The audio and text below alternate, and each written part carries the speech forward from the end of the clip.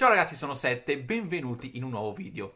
Allora, la mia intenzione iniziale era fare il video dello spin-off di Game of Thrones per vedere quali potevano essere le possibili trame che si potevano sviluppare in futuro. Ma poi, ma poi uno di voi mi ha girato questo bellissimo articolo contenente dichiarazioni dei cari D&D, Benioff e Weiss, sceneggiatori di Game of Thrones da, dagli antipodi e devo dire che mi sono inalterato, per usare un eufemismo, per non dire che ho preso un contenitore e l'ho fracassato contro il muro, non so neanche che c'era dentro. Tale articolo riprende un'intervista fatta a Benioff e Weiss all'Austin Film Festival di poco tempo fa, sul fine di ottobre. Uh, vi linkerò qua sotto in descrizione l'articolo contenente anche i tweet di Benioff e Weiss riguardo a questa intervista. È qualcosa di veramente, veramente atroce, dovete assolutamente guardarlo, ma ve lo spiego in, uh, diciamo, in pochi minuti. Dunque, Benioff e Weiss partono dicendo che erano totalmente inesperti quando avevano iniziato uh, Game of Thrones, non avevano alcuna esperienza di sceneggiatura e non sanno perché Martin le aveva affidato loro questo progetto. E inoltre la, mm, la, la pilot, ossia la, mm, il, la, prima stagione di Game of Thrones, o quella originale, non quella che è andata in onda, era totalmente una schifezza che era stata bocciata dal co-sceneggiatore Craig Mazin.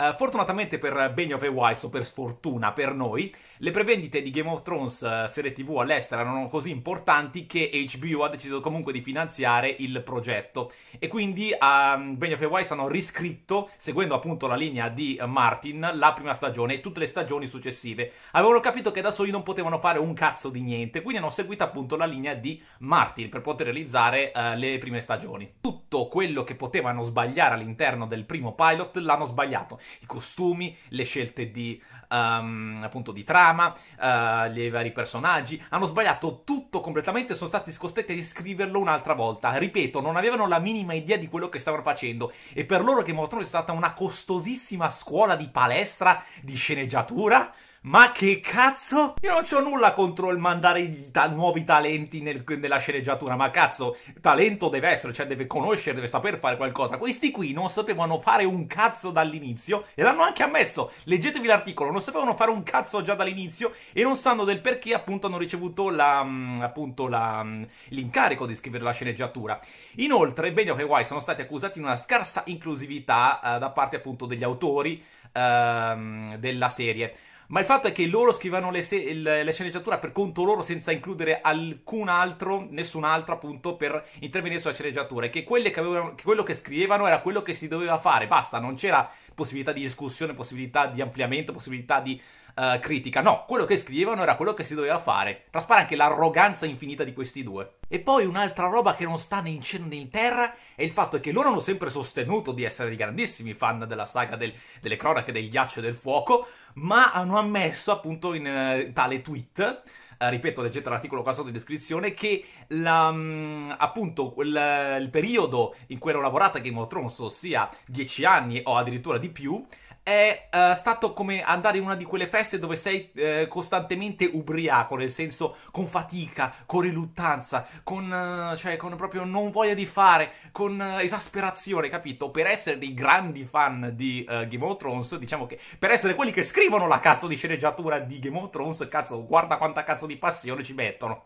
Inoltre hanno specificatamente detto, come molti fan sostenevano, che hanno allargato a un pubblico sempre maggiore il, il, target di Game of Thrones e volevano togliere tutti gli elementi di fantasy perché non volevano puntare a un pubblico eh, di genere come poteva anche aspettarsi il fatto che Game of Thrones, nonostante sia una serie che punta anche sul realismo, ci sono elementi di magia molto importanti.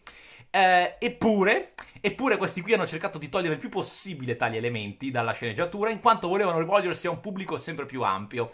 Volevano fare una serie globalizzata perché si volevano rivolgere a madri, giocatori di football, eh, promotori finanziari, eh, postini, non che ci sia niente di male, ma tipo che cazzo, perché cazzo ti vuoi rivolgere a tutta sta gente se poi la sceneggiatura fa cagare, porca puttana? Veramente tutte le critiche che ho ricevuto per le mie recensioni su Game of Thrones 8, adesso io vorrei vedere quelli lì che mi vanno a spiegare queste cazzo di dichiarazioni che difendevano D&D. Oh, non avevano idea di che cazzo stavano facendo, ma vi rendete conto? La roba che ha fatto incazzare i fan più di qualunque altra, me compreso, è il fatto che si sono totalmente dis- disinteressati delle opinioni del pubblico, delle opinioni dei fan, delle critiche dei fan o anche semplicemente delle azioni dei fan, tra cui le reazioni dei fan alle varie stagioni o diciamo comunque all'opinione um, pubblica riguardo alle stagioni, soprattutto alle ultime di Game of Thrones.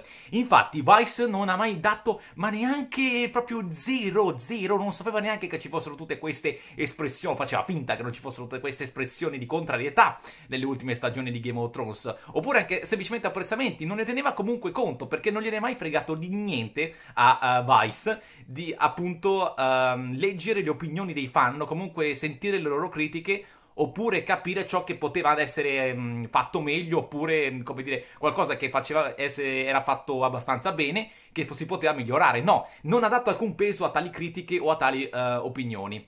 Invece Benioff, eh, appunto, che è rimasto sconvolto dal fatto che quando ha googlato, ha proprio scritto, ha proprio googlato eh, reazioni Game of Thrones, è rimasto sconvolto dal fatto che c'era tantissima gente che appunto era contrario alla loro sceneggiatura, comunque alle loro recenti stagioni. Aveva fatto più o meno, mi pare, alla fine della settima stagione. Comunque è rimasto sconvolto da questo. Io dico, come cazzo fai a rimanere sconvolto se sei il cazzo di sceneggiatore di Game of Thrones? Qualcosa ti verrà all'orecchio. Io non ci voglio credere minimamente che Benioff e Wise non avevano la minima idea di quello che si stava trattando a proposito della loro serie, perché è una delle serie, se non la serie più diffusa a livello globale. Quindi io mi chiedo, porca di quella puttana, perché cazzo non hanno ascoltato le critiche dei fan? Perché semplicemente non ne fregava un cazzo, non ne fregava niente, volevano solo intascarsi i soldi, porca di quella puttana, per fare una sceneggiatura del cazzo e per attirare avanti il brodino più che potevano, appunto con questa cazzo di uh, storia che poi, vabbè, insomma, mm, sappiamo tutti com'è andata alla fine dell'ottava stagione, un nulla assoluto, assolutamente nulla, inconcludente,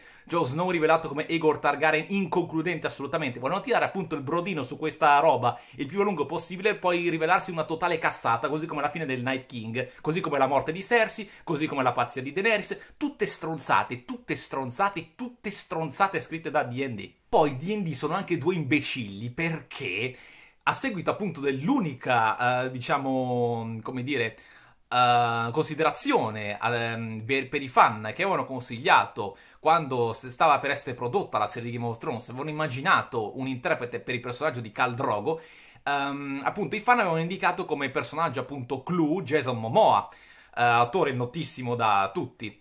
E um, appunto loro avevano ascoltato quest'unica eh, quest'unico consiglio avevano appunto fatto Jason Momoa come uh, Khal Drogo. Il problema qual è? È che poi non hanno fatto nient'altro appunto per andare d'accordo con i fan. Forse a seguito della grande popolarità che ha avuto il personaggio di Khal Drogo eh, attraverso Jason Momoa, dovevano ascoltare di più le critiche o comunque i suggerimenti dei loro fan per i personaggi, per le scelte appunto di sceneggiatura. Anche solo dei piccoli consigli qua e là potevano anche ascoltarli. No, non volevano ascoltarli perché semplicemente non lo so, si volevano chiudere nell'illusione che tutto quello che facevano era a posto ma erano consapevoli del fatto che non, non era a posto, quindi di che cazzo stiamo parlando?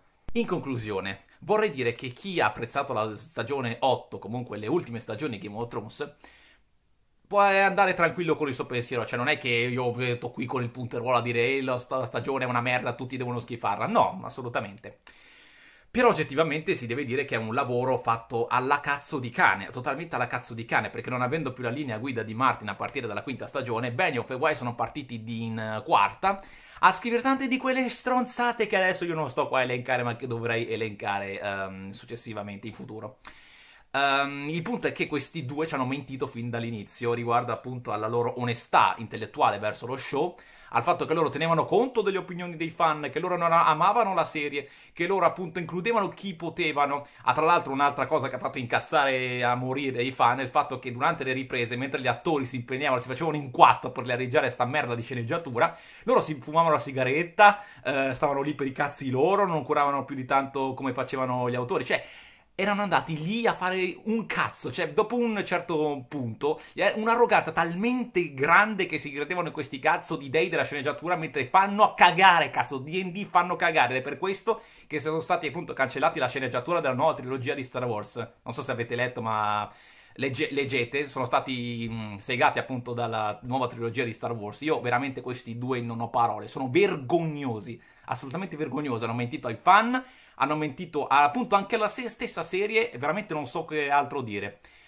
Se non il fatto che poteva, potevano fare meglio, anche se disprezzavano magari, uh, se per loro era una tragedia, per loro era un'esagerazione, continuare ad andare avanti con Game of Thrones, potevano realizzare qualcosa di buono se si impegnavano un attimino, perché voglio dire, non è che scrivi una sceneggiatura e non sai fare un cazzo, qualcosa saprai fare, no? Quindi potevano impegnarsi molto di più. Io non so cos'altro dire. E niente ragazzi, ci vediamo al prossimo video in cui parlerò finalmente dello spin-off di Game of Thrones che ci sarà, non diretto da sti due, grazie a Dio.